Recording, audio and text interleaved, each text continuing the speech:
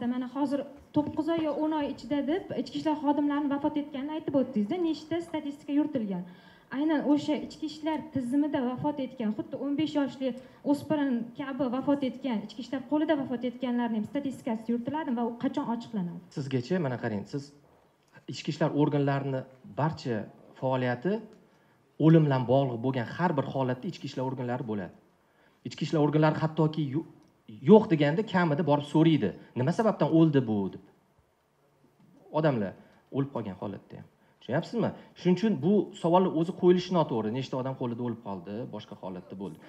Agarda ichki ishlar organlari albatta sog'liqni saqlash vazirligidan oladigan bo'lsang har bir holat olinadi. Mana farg'onada o'sha o'n besh yoshli boladan keyin ham e, bir anaqa probatsiya xizmatiga chiqqan muqaddam sudlangan shaxsni aniq e, e, yana vaqtincha saqlash hibsxonasiga qaytarilgan. Sababi u qonuniy tartibda belgilangan e, talablarni bajarmagan va u qaytib kelgandan keyin yuragi yomon bo'lib o'sha yerda o'zida kamerasida o'lib qolgan kechasi xirillagan buni barcha o'sha yerda yotgan uchta anaqa ham ko'rgan.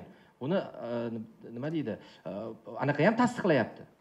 Lekin biza boyagi xatoni tushunib o'zimizdan xatomizdan tezgina jamoatchilikka bermaganimizda edi. Ayrim jamoatchilik vakillari tomonidan yana bu narsa e, suiiste'mol qilinardi. Biz buni oldini olib berdik. Bundan keyin endi xudo xohlasa bu bizga ham dars.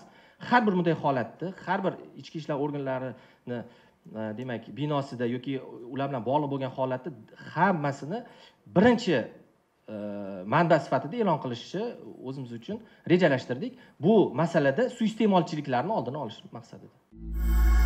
Thank you.